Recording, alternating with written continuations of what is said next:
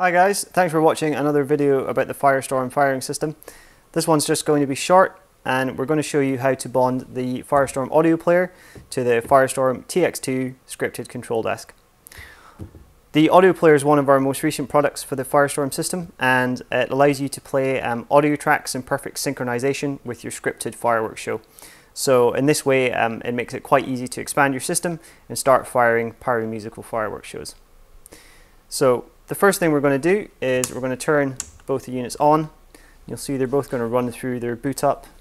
You'll see the battery voltage to make sure everything's okay and it'll just go to their home screen.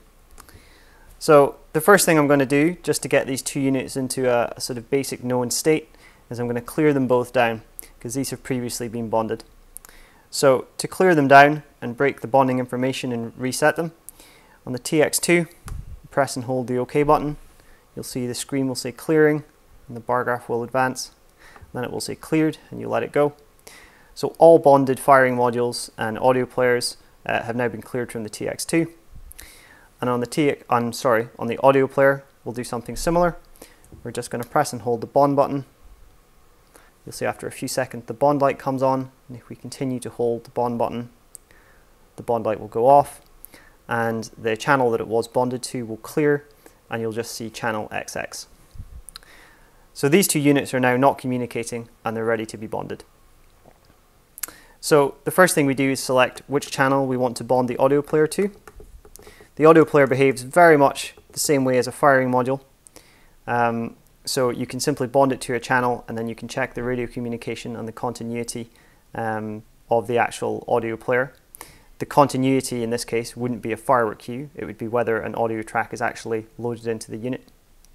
So in this example, let's go ahead and bond it to channel 200. So you select channel 200 on the TX2, and then you simply hold the bond button on the audio player. The bond light will come on, you release the bond button, and then just like any other firing module in the system, you press and release the fire button, and you see that suddenly we have uh, a signal light, which is green, and we have a continuity light, which is red in this case, because we don't have an audio track loaded onto the unit. If we did have an audio track loaded in there via the USB stick, this light would also be green. Notice also that the screen now shows you the channel that the audio player has bonded to, in this case channel 200. So once again, I'm just going to clear these both and we're going to rebond it so you know exactly what to do. Press and hold the bond button on the audio player. The bond light is going to come on. Keep holding the button. And after a few seconds, the light will go out. The channel will be cleared. You've now cleared all bonding information from the audio player.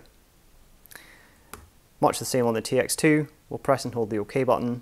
The display will show clearing. And then the unit has now been cleared. Notice that the signal light um, and the continuity light have gone out because the link has been broken. In this example, we'll go back to channel 1 and we'll just rebond these again. So once again, we're going to press and hold the bond button. The bond light will come on. We can now release the bond button. Make sure your correct channel is selected. Press and release the fire button. Signal and continuity lights light up for that channel. And you'll see that we're now bonded to channel 1 on the audio player screen.